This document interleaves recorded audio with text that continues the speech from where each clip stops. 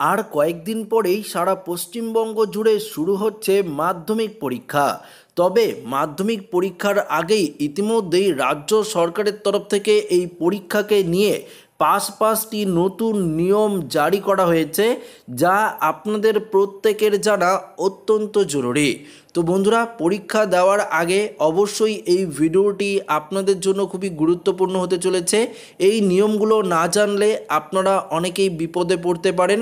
তো বন্ধুরা, কি কি নিয়ম জারি হচ্ছে, সমস্ত কিছু আমরা এই ভিডিওটিতে একদম লাইভ আপডেটে আপনাদের জানিয়ে দেব।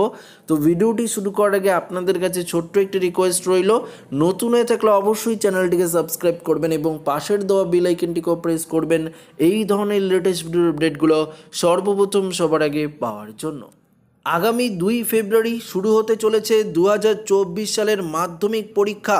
মাধ্যমিক পরীক্ষাকে ঘিরে প্রত্যেক বছরেই পরীক্ষার্থী থেকে অভিভাবক এবং অন্যান্যদের বেশ কিছু অভিযোগ তুলে দেখা যায়। সেই সকল অভিযোগ থাকে মূলত টুকলি করা থেকে শুরু করে প্রশ্নপত্র ফাঁস এবং অন্যান্য ব্যবস্থামূলক বিভিন্ন বিষয়। তবে এবার যাতে এই ধরনের কোনো অভিযোগ না থাকে, তার জন্য পাঁচ নিয়মে বদল আনা হয়েছে মধ্য শিক্ষা পর্ষদের তরফ থেকে।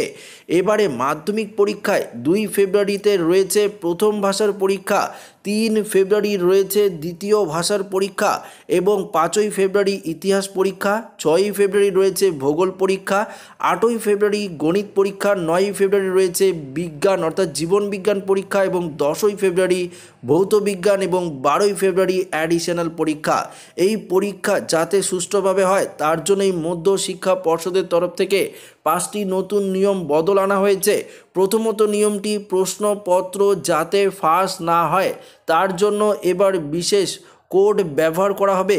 এক্ষেত্রে প্রশ্নপত্র বেরিয়ে গেলেও কোথা থেকে বের হলো তা সহজে ধরে নিতে পারবে বোর্ড এবং সেই মোতাবেক উপযুক্ত ব্যবস্থা গ্রহণ করতে পারবে। প্রশ্নপত্র থেকে উত্তরপত্র বিভিন্ন জায়গায় এমন কোড আলাদা আলাদা থাকবে যাতে করে কোনোভাবেই বিষয়টি ফাঁকি দেওয়া না যায়। দ্বিতীয়টি রয়েছে সিভিক ভলেন্টিয়ারদের ভূমিকা নিয়ে বিভিন্ন সময় আদালত সহ বিভিন্ন জায়গায় নানান প্রশ্ন ওঠে। পরিপ্রেক্ষিতে এবার মাধ্যমিক পরীক্ষা চলাকালীন নিরাপত্তায় কোনো সিভিক ভলেন্টিয়ার প্রবেশ করতে পারবে না।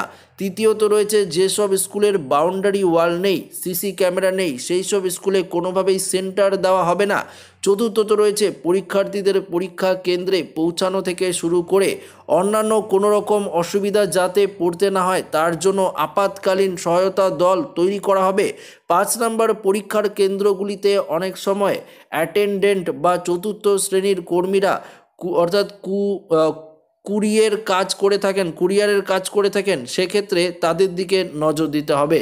তো বন্ধুরা, আপনারা দেখতেই পালেন এই পাঁচটি নিয়ম বদল আনা হয়েছে মাধ্যমিক শিক্ষা পর্ষদের বোর্ডের তরফ থেকে, যা আপনাদের পরিষ্কারভাবে জানিয়ে দিলাম। তো অবশ্যই এই নিয়মগুলো আপনাদের প্রত্যেকেরই কাজে লাগবে বা আপনারা বুঝতে পারছেন। তো ভিডিওটি ভালো লাগলে লাইক করবেন বন্ধুর সাথে শেয়ার করবেন, নতুন থাকলে চ্যানেলটিকে সাবস্ক্রাইব করবেন। ধন্যবাদ।